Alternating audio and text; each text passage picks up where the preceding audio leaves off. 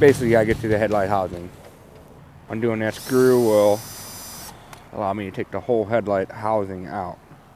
And that's where you need to get get to. I'm going to do this socket and that's the bulb, the original halogen. You undo the sleeve and that keep allows the bulb to come out. Good. For one headlight, this is the 9007 model. And for one headlight, you have the fan adapter, you have the LED high and low beam that screws onto the fan, and you also have the driver, which we're going to mount to the side of the vehicle. And here's your 9007 base. The LED, and we're going to get it into the headlight housing. Now it's important to know which way your headlight is because we're going to want the low beam to face up and then shine down and the high beam is going to face down and shine up. And these notches allow you to put it in the right way without getting it wrong. I'm going to line up the notches. Should go right in. You want to make sure that when you put this in there, some of these will not latch on to your existing housing. So just do your best to go up, have the LED pointing facing up and down. That'll be your high and low beam. Low beam faces up, high beam faces down. I'm going to position the headlight housing back in there just to make sure that the LED is facing upwards and downwards as much as possible. I can see I could probably rotate it a little bit. My sleeve is going to tighten it down. I'm going to lock it in with this sleeve.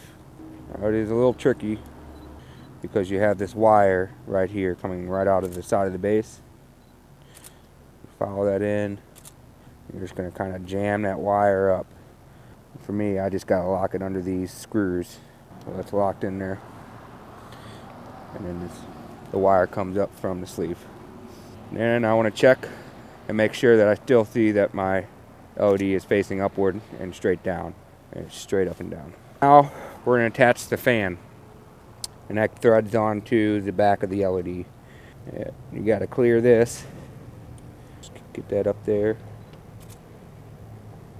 And thread this all the way in. And you watch out for your wire. You don't want to crimp your wire. So once it's threaded in tight, good to go.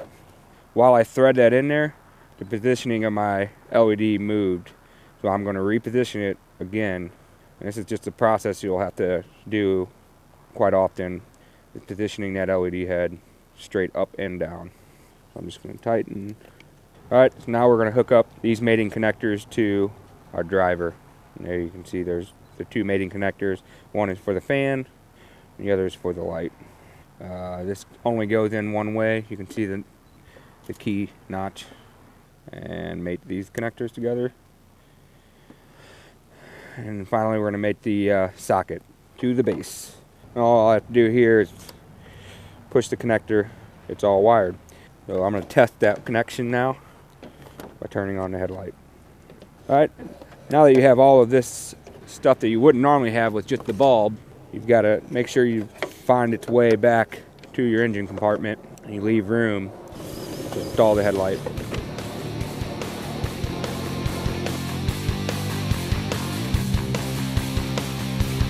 And we're